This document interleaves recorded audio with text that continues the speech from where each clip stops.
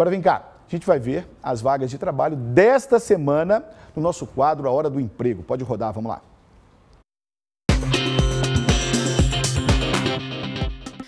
Belo Horizonte está com 100 vagas abertas para operador de telemarketing. É preciso ter o ensino médio completo, mas não é necessário comprovar experiência. O salário é de R$ 1.412 mais benefícios. Também há oportunidade para vendedor pracista. Ao todo, são 20 vagas. Os candidatos devem ter ensino médio completo e seis meses de experiência.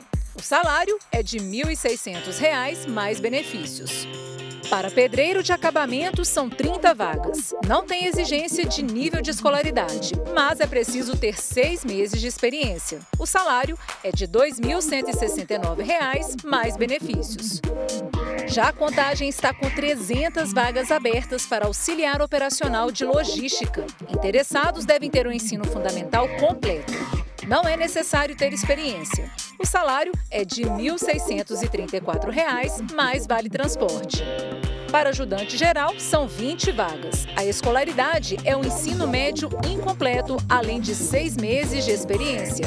O salário é de R$ 1.506 mais vale transporte. Gente, mais informações a respeito disso está na internet, tá?